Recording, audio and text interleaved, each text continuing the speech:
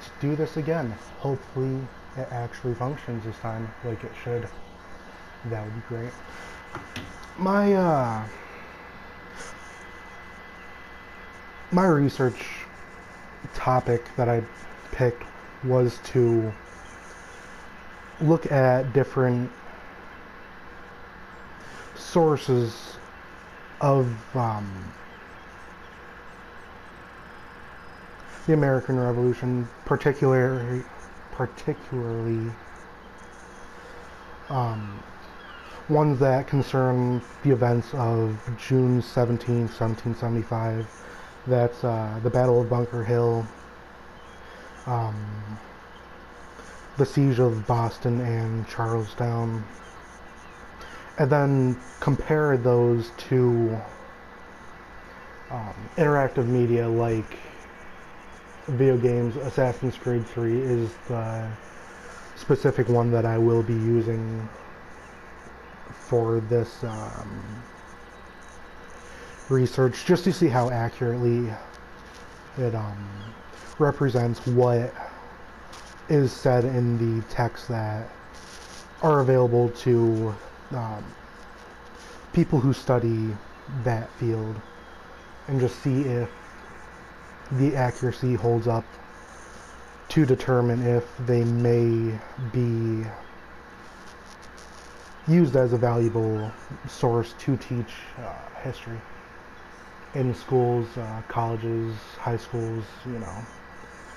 Um, I, th- I think this could be a way to increase the level of interest that many students have in subjects like history if the research turns out to be to, turns out to be successful. Um, you know, I used to be a STEM major, and part of the reason why I took it was because I would get to use some of the newest technology and new technology that was available in those classes. I think if um, things like video games were able to be used, it could encourage students to um, gain a, a, new level of interest in history. I know that's part of the reason why I switched when I did was actually because of this game. And uh, I don't really regret switching at this point. But um if video games are found to be useful and historically accurate enough to be used as a teaching method and that does lead to increased interest in history, uh, I could imagine that having an effect on the um, possible funding in the history department. If there's a large interest in an influx of students who want to take history, they will get um, funded, more funding. I imagine that's that's what um, economics seems to say with supply and demand. That's why so recently, um, what the engineering department here got a million dollar grant just because it is one of the growing departments at the school and students do find an interest in that those subjects. Um, I, I believe it could have a similar effect within the history classes if these new methods were able to be adopted rather than just sticking with uh, the basic things like reading from PowerPoints or books just like the majority of the other classes or at least social science classes.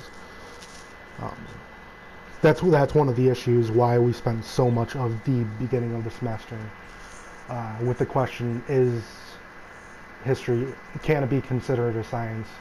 Uh, a large part of that, I believe, was about the amount of funding that different departments are able to get when things are con- considered um, within the realm of STEM, STEM, they do appear to get more funding.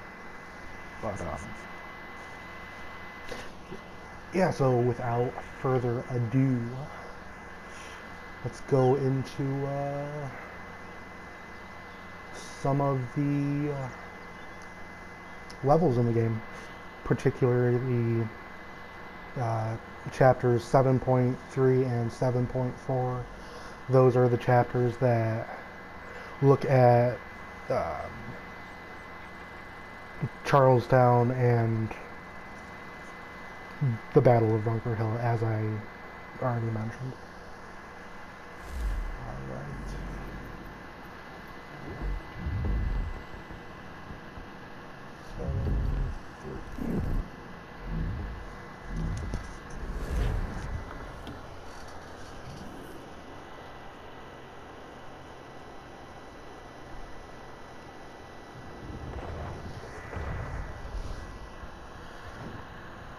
Sometimes I wish my PlayStation wasn't so loud.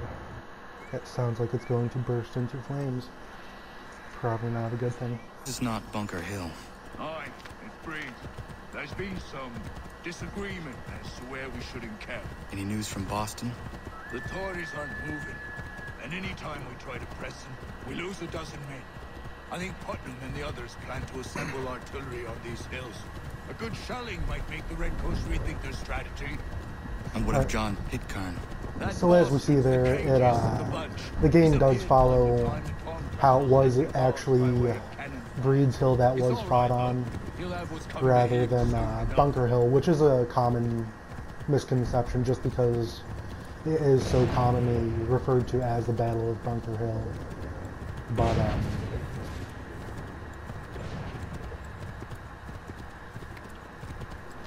yeah, the game. So the game does get that right, which is a plus. So right here we see the encampment. We see uh, the number of colonist troops. I'd say a bit underrepresented. But uh, yeah, see the encampment build up, uh, which is mentioned in my essay. Original case. The cannon is uh, the cannon fire is coming from Good day, the Putnam. blockade, the naval blockade looking for him. from the British. would be able to help me find him. He's tucked away And this is the city cutscene where to be. As long as that ship continues there's discussion of going never flush him out. and destroying ship was some of the ships in Oh, the then blockade Get off his to take and off the forward. pressure. I shall fly this flag to signal my success. Now that's obviously a um, fondly of you at your funeral. dramatization. Uh, colonists didn't just, or a single colonist didn't just go and attack the ships head on.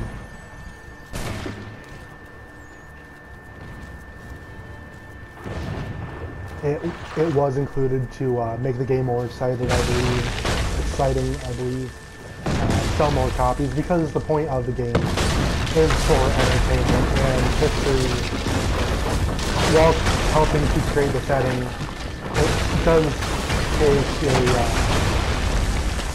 a secondary role in some of the uh, some of the things that the game portrays to the entertainment. So yeah, you, you can just run through run through these people. No one really pays attention. Probably not realistic. But um, as we saw there, the uh, oh, jump.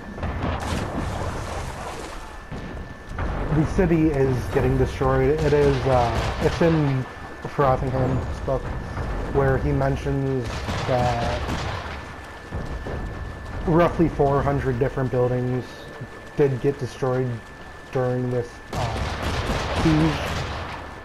And I, I do think that the game did do a good uh, job at representing some of the destruction for the time it was released. Um, obviously the technology wasn't that good, but I, I think the destruction was significantly shown. Oh. No, no.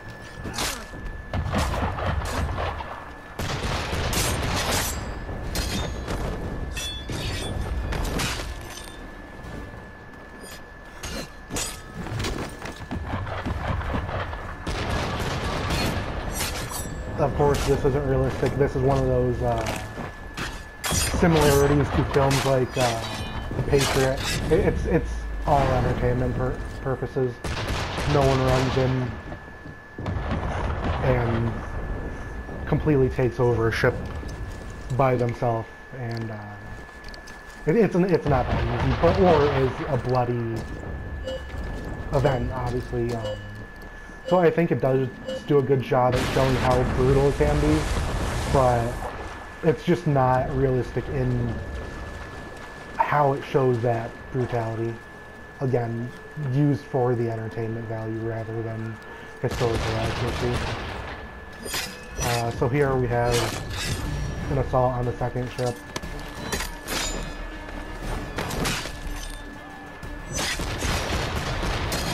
Combat isn't the most difficult thing.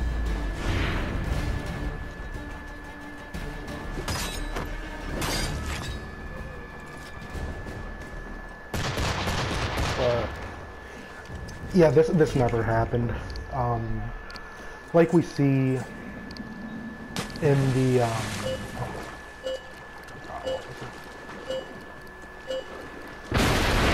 the map, the uh, reinforcements did actually come from this naval blockade. So it's not like it was destroyed by someone. Like, this is one of the reasons why the colonists did lose the battle was because they were overwhelmed on the third uh, wave because of the reinforcements from some of these ships. Uh, they also ran out of ammunition.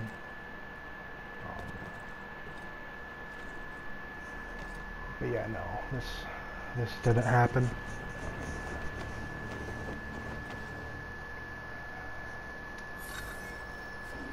That is the end of the first mission. The uh, next chapter that I want to look at is the one directly following this. It shows the actual Battle of Bunker Hill. Um,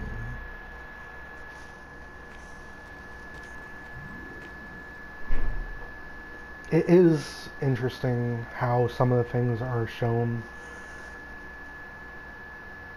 in that mission. Um, as for this one, it I feel like it did show some historical accuracies, such as how the town was destroyed. Um, it showed that it was on Breed's Hill, obviously. Um, it, it, did have some good, good uh, information displayed in it, but then again, it did have some inconsistencies with just how history actually happened. Uh, most of these inconsistencies follow because this is an entertainment product and uh, history does seem to take a little bit of a backseat even if um, historians were consulted in the development of the game. Um, I mean, the same thing can be said about films, though. They are entertainment projects, and uh, they, they still can be used to help teach history in uh, a lot of a lot of college classes use films. So here we see some of the aftermath. Um, a lot of destruction. Maybe not so many of the buildings destroyed, but I believe that's due to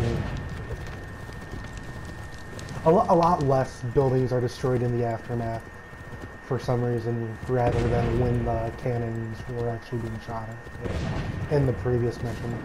But that that's just because of different assets that are available to the development team and um, just rendering technology. So here we have uh, Putnam giving his whites of their eyes speech. Um, it is still discussed whether or not he was the actual one to give this speech, but a lot of historians do believe it was him. We have order. Yeah, this is just a little bit before the- have passion. We believe. Before the um, charge that you'll see. Observe your ammo. Ensure a proper line of sight. And above all else, men, do not fire until you see the whites of their eyes. So he, he does mention how it is important to conserve ammo. Uh, again, that is one of the reasons why the colonists had to retreat was because they were they did run out of ammo at a point. Well, I'll be damned. Here's a conversation That was about how Lies, all of it. the main afraid. character uh, Connor is going to attack Such words have carried us thus far. the enemy lines head on, which again is another dramatization. He's left Boston, Uh, as I said he would. the colonists set up camp on this this was a defensive battle no for the colonists, not offensive. Not with that maelstrom. um, Here we see the enemy lines. I We see how many uh, circle around bit British are, us to fill are on the field. Obviously, the British do outnumber the uh, There is no The colonists as I will have a chance to direct approach. is documented in That's twice today you proposed the impossible. uh, historical sources I see no other choice. such as uh, Ketchum Not and because Craze mad books. March hare, son. I expect an apology on my return. Uh, one of the other things that was that was shown in this was how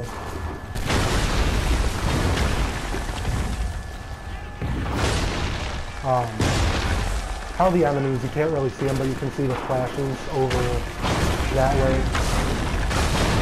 There, they just fired. Um, you can see how many there are, and uh, that they were actually on a hill. Now, according to the map, they they did approach from the uh, ocean side, which is the same way that we just approached. So that's another historical inconsistency that this game does show. Uh, they're also on a hill, which the map doesn't show. They approach. The map shows that they approach from underneath, or the colonists have the high ground. They approach from, I guess, ground level, if that's a good way to phrase it. But rather than on an actual hill. Uh, they also should have been the ones that were attacking us rather than us attacking them. Um, again, another inconsistency. But it is more dramatic to, to be the one who's attacking rather than the one who's defending. So that was just another concession to sell more uh, more units of games. So right here, obviously, they should have seen him, but assassins are sneaky. Drama- dra- dramatization again. Uh, so yeah, climbing a cliff because that's what assassins do. Uh, again, not accurate.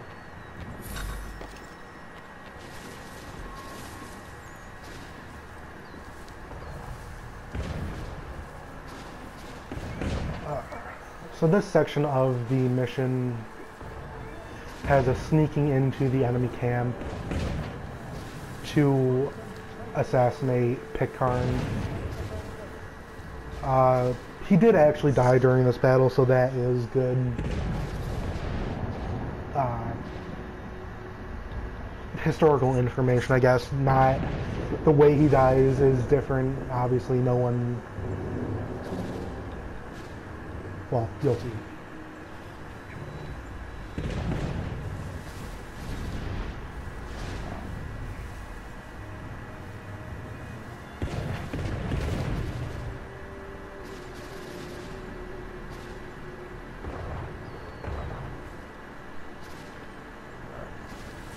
Sneak around here. Obviously, if this was in real life, I think uh, the British would have had more um, people stationed at the camp. They wouldn't all be on the front lines like this. Um, so, like right here, there's there's only two like ways to go, or either right there, which is through the camp, you will be spotted, or around, which is the suggested.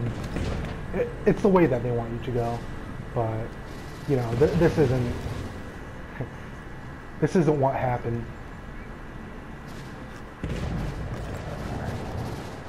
Like no, no one's jumping through trees onto flagpoles and jumping down and assassinating officials.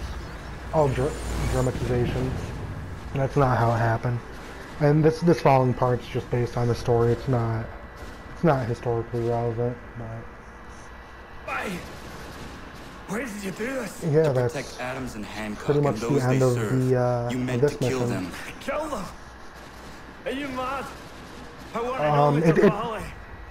Like the last mission. This so much to discuss. this one does have its pros and cons as far as historical in, accuracy If goes. you speak true, Um, then I will carry your last words to them. They must it does show the arms. difference in numbers this between the war. two Why them and sides, not the redcoats? Do you and not think we asked the same question of the British? it, it does These show things take time. the famous speech, And I would have um, succeeded had you let me play my part. the importance of puppeteer. saving Better ammo. the strings. No, the strings should be But severed. the, I think the vast should be majority of this chapter We should live specifically is on castles in the dramatization, just because, sky. You wield again, your blade like a entertainment, man, but your mouth like a child. uh, it was made for entertainment. and more will die now. Because of that.